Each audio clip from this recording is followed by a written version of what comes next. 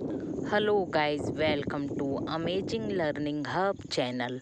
आप हमारी वीडियो पसंद आती है तो लाइक करना ना भूलें। अगर आप चैनल में पहली बार आएँ तो बेल बटन प्रेस कर कर सब्सक्राइब करें, जिससे आपको हमारी वीडियोस के नोटिफिकेशन मिलते रहेंगे। और अपने फ्रेंड्स को शेयर करना नहीं भूलें। वसीयत के बारे में। हम पहले वीडियो बना चुके हैं। वसीयत क्यों आवश्यक है?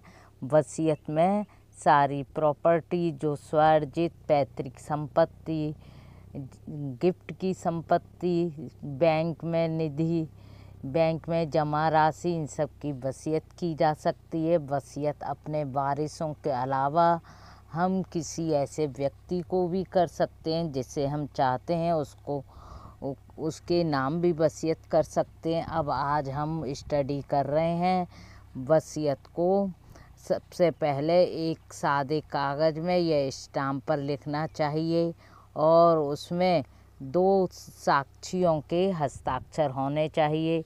साक्षी अठारह वर्ष से ऊपर के और समझदार होने चाहिए। ऐसा नहीं है कि हम नाबालिग से को साक्षी के रूप में हस्ताक्षर करवाएँ।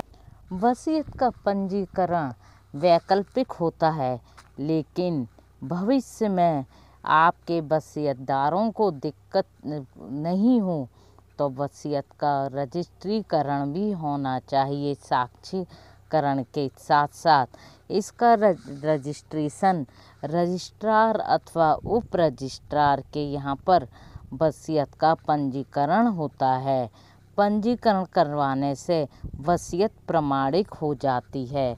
कभी कभी बैंकों तथा भिन्न भिन्न प्राधिकरणों में पंजीकृत वसीयत की मांग की जाती है।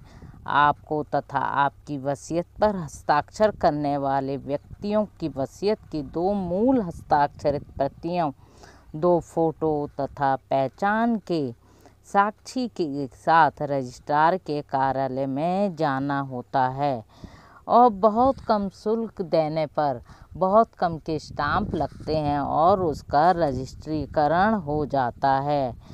क्योंकि देखिए, अगर हम चाहते हैं हमने जिनको वसीयत की है, वो आगे किसी भी प्रकार के टेंशन में नहीं आए।